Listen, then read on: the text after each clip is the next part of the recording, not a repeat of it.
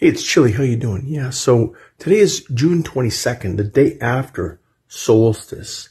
And I'm already noticing that the days are getting shorter.